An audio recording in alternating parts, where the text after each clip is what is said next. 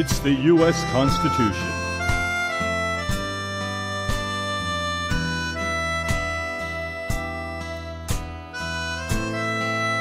It's our only sovereign.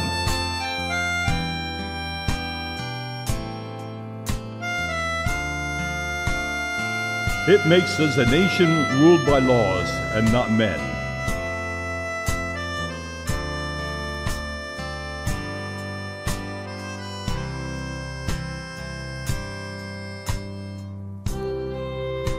It separates the powers of government to safeguard against dictatorship.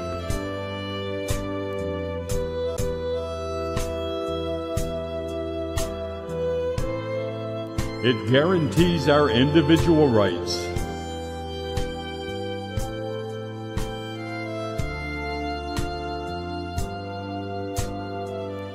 James Madison wrote it with advice from great men.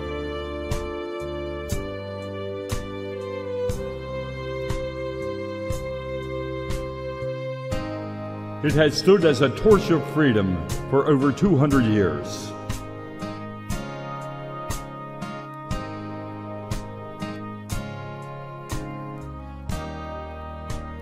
The Constitution requires vigilance and defense, but it has always had loyal defenders.